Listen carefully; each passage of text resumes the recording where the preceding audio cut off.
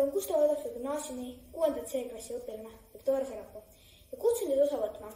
aktiivsest liikumispausist